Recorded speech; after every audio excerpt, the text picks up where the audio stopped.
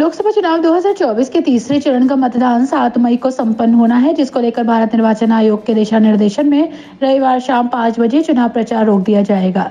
और अब इस चुनावी मैदान में प्रत्याशी मतदाताओं पर निर्भर दिखाई दे रहे हैं। सुबह से लेकर शाम तक प्रत्याशी और उनके समर्थक जनता के बीच जाते दिखाई दिए और जनता के बीच जाकर अपनी प्राथमिकताएँ भी बताने का काम किया। समाजवादी पार्टी गठबंधन से संबल लोकसभा प्रत्याशी जियाउर रहमान वर्ग की टीम के सदस्यों द्वारा गांव-गांव जाकर समाजवादी पार्टी की नीतियों को बताया गया। कहा गया कि हमें अपने मत का प्रयोग आवश्यक रूप से करना है।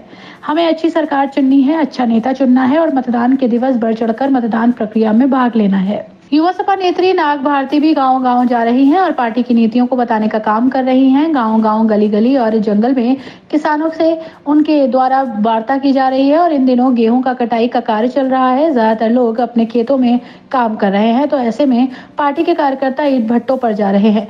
गेहूँ के खेतों में जा रहे हैं और किसान सिंचाई कर रहे हैं। उनके पास भी जा रहे हैं और लगातार मत का प्रयोग करने की अपील कर रहे हैं। तीसरे चरण का मतदान शांतिपूर्ण और बेहतर तरीके से संपन्न हो, इस बिंदु को लेकर भारत निर्वाचन आयोग के दिशा निर्देशन में सभी कार्यों को किया जा रहा है। मतदान स्थल पर मतदाताओं के लिए पानी आदि की व्यवस्था की जा रही है। तो वही पोलिंग पार्टियों के लिए भी अन्य व्यवस्थाओं को किया जा रहा है।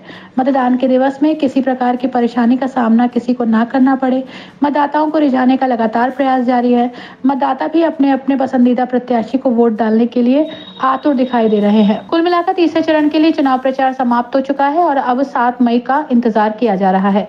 सात मई को सुबह वोट डालने की प्रक्रिया शुरू की जाएगी और देर शाम तक ये प्रक्रिया जारी रहेगी। संबल लोकसभा क्षेत्र में बेहतर मतदान हो, इस बिंदु को लेकर जिला प्रशासन लगातार प्रयास कर रहा है। मतदाताओं से सौ प्रतिशत मतदान करने की अपील की जा रही है और राजनीतिक पार्टियों के कार्यकर्ता वोट करने की अपील कर रहे हैं। वहीं समाज सेवी संस्थाएँ भी मतदान में ज़्यादा से ज़्यादा अपनी भूमिका को अदा करने की अपील कर रही है। कुल मिलाकर तीसरे चरण का मतदान अच्छी तरीके से संपन्न हो और सफल हो। इस बिंदु को लेकर भारत निर्वाचन आयोग बेहतर काम करता दिखाई दे रहा है। चुनावी रण में अपनी किस्मत आजमा रहे राजनीतिक पार्टियों के कार्यकर्ता भी अब तक जी जान से अपने अपने पसंदीदा प्रत्याशी को वोट करने के लिए जनता के बीच जाकर अपना प्रचार करते दिखाई दे रहे हैं। चुनाव प्रचार संपन्न हो गया। अब सभी लोग मतदान के दिवस का इंतज़ार कर रहे हैं। वोट गड्ढे में जा रहा था। हम गड्ढे में क्यों डाले? थोड़ी हम जान गड्ढे में जाएँ। उसका कोई कहीं कहीं तक रोल नहीं है। अगर उन्हें सत्ता में आना था तो बहुत टाइम पहले आनी चाहिए थी। अब तीन महीने का तीन महीने का चुनाव तो प्रधानी का नहीं होता वो तो पूरे देश का चुनाव लड़ने जा रही हैं। तो ऐसे करके कि अपना वोट गड्ढे में डाल ना डाल के एस समाज को और मैं ये ज़रूर कहूँगी अस्सी में ना पढ़ के भैया देश के विकास के बारे में सोचिए देश के हित के बारे में सोचिए अपने बच्चों के बारे में सोचिए अपने देश के संविधान के बारे में सोचिए। अगर संविधान चला गया तो अब कोई बाबा साहब नहीं आएगा। बाबा साहब नहीं आएगा कि तुम्हारे हकों के लिए फिर से कोई लड़ेगा? क्योंकि तो आज के टाइम में इतना कोई भी ये नहीं है कि सब थोड़ा कहीं ना कहीं अपने स्वार्थ में होते हैं। कोई बिल्कुल समाज की ईमानदारी से काम नहीं करता है। थोड़ा अपना स्वार्थ भी होना चाहिए क्योंकि आज का प्रैक्टिकल टाइम है।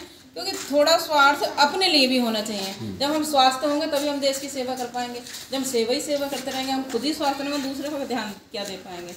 तो मैं कहती हूँ अब अपने गाँव मोहल्ले के टोटल वोट टोटल मतलब टोटल वोट जहाँ तक हो सके वहाँ तक कोशिश करो कि साइकिल पर वोट जाए। वोट गड्ढे गड्ढे में ना पड़े हमारा वोट खराब ना हो क्योंकि इस वोट की बड़ी अहमियत है। तो मैं इन सभी से अपील करना चाहूँगी कि वोट ज़्यादा से ज़्यादा साइकिल को दीजिए। हमारे माननीय अखिलेश भैया के हाथ मज़बूत कीजिए। समाज को बढ़ाइए। देश के हित के लिए